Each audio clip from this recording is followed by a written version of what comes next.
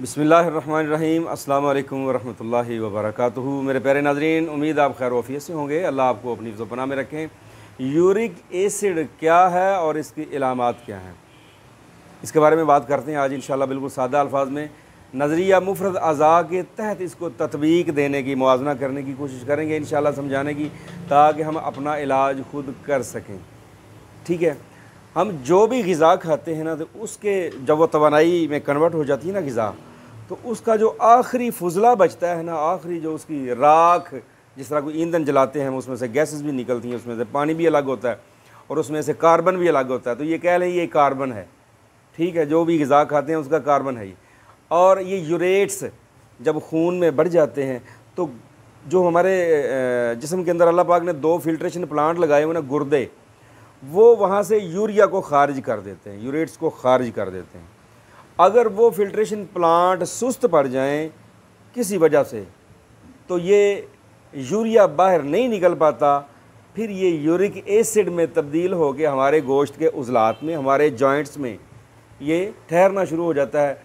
और इसकी अगर हम रिपोर्ट करवाएँ मेडिकली रिपोर्ट किसी अच्छी लैब से तो इसकी जो नॉर्मल वैल्यू है, वो आपकी आएगी थ्री पॉइंट फाइव यानी तीन शरिया पाँच से लेकर सेवन पॉइंट टू तक, यानी सात शरिया दो मिलीग्राम पर डेसी लीटर औरत है या मर्द है? जवान, एक मर्द औरत का ये लेवल है।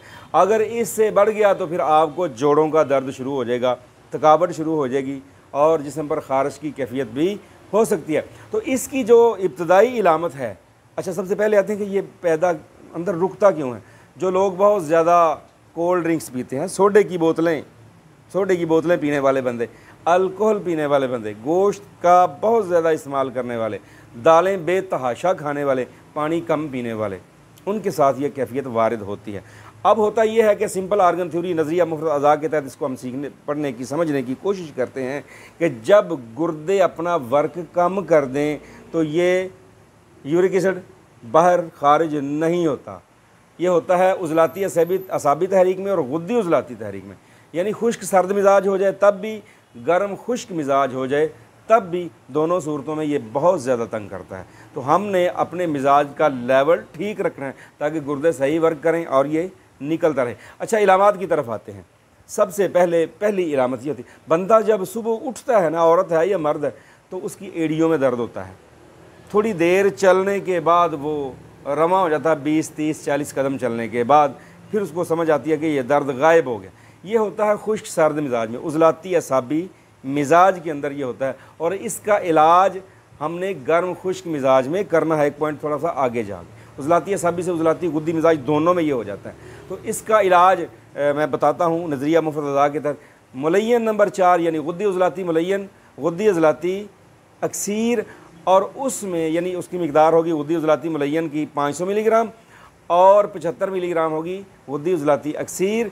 और 250 या 125 उम्र के लिहाज से। मिलीग्राम मीठा सोडा। दिन में तीन बार नीम गर्म पानी से इस्तेमाल करें और साथ परहेज़ करें। यूरिक एसिड, ये गया दर्द भी ख़त्म हो जाएगी। दूसरी कैफियत होती है अच्छा इलामत मुकम्मल कर लूँ मैं। एडियो में दर्द, उसके बाद आपके जॉइंट्स में दर्द, जोड़ों में दर्द। ये जो गोश्त के उजलात हैं, पट्टे इनमें भी दर्द होता है, थकावट हो जाती है। अगर ये खारिज ना हो तो जिसम के ऊपर खारिश की खुजली की कैफियत होगी। आप अपना यूरिक एसिड टेस्ट करवाएँ किसी अच्छी लैब से और आपको पता चल जाएगा आपका यूरिक एसिड बढ़ा हुआ है। इसको, इसका तदारक करें।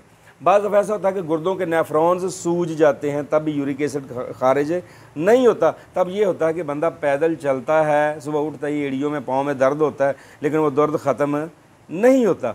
और नतीजा, बंदा पेन किलर्स खा खा के गुर्दों का और बेड़ा गर्क कर लेता है, यूरिक एसिड और आई हो जाता है। टेस्ट नहीं करवाता टेस्ट करवाए तो पता चलता है कि यूरिक एसिड बढ़ा हुआ है। और यूरिक एसिड को खारिज करने के लिए हमारे पास बेहतरीन गुद्दी उजलाती तहरीक में हमारे पास है। मुलैन नंबर पाँच और अक्सर लसानी। यानी गुद्दी साबी मुलैन और अक्सर बादियान भी इसको कहते हैं। दिन में तीन बार आप ताज़ा पानी के साथ इस्तेमाल करें, इससे बड़ी जल्दी अफाका हो जाता है, अल्लाह की रहमत से। आप अगर सोडा पीते हैं बहुत ज़्यादा, यानी कोल्ड ड्रिंक्स पीते हैं, कोक, पेप्सी, स्प्राइट, मरिंडा, शरिंडा, ड्यू, इसको छोड़ दें, ज़िंदगी से निकाल दें। नंबर दो, अल्लाह माफ़ फरमाए, अगर आप अल्कोहल इस्तेमाल करते हैं, शराब वगैरह, उससे भी तायब हो जाए। अगर आप दावतों पे जाकर खाबे खूब उड़ाते हैं, गोश्त खा खा के पैसे पूरे करते हैं, तब भी आप बीमार हैं। जहनी तौर पर भी बीमार हैं और जिसमानी तौर पर भी बीमार हैं और आपका यूरिक एसिड बढ़ा हुआ है, गोश्त छोड़ दे। दालें आ गई, दालें भी यूरिक एसिड पैदा कर दे। अगर आप सिर्फ़ दालों पर ही पर ही इतफाक़ किया हुआ है तो भाई दालें कम कर दें, आप सब्ज़ी खोर हो जाए। सब्ज़ियों में सबसे ज़्यादा बेहतरीन सब्ज़ी है यूरिक एसिड को कंट्रोल करने के लिए शलजम, मूली, गाजर, मोंगरे, कद्दू, घिया तोरी है। और पेठा भी है। इनको सादा तरीके से, ज़ीरा ज़्यादा इस्तेमाल करें। ज़ीरा और बड़ी इलायची इसमें ज़्यादा इस्तेमाल करें खुश धनिया इस्तेमाल करें।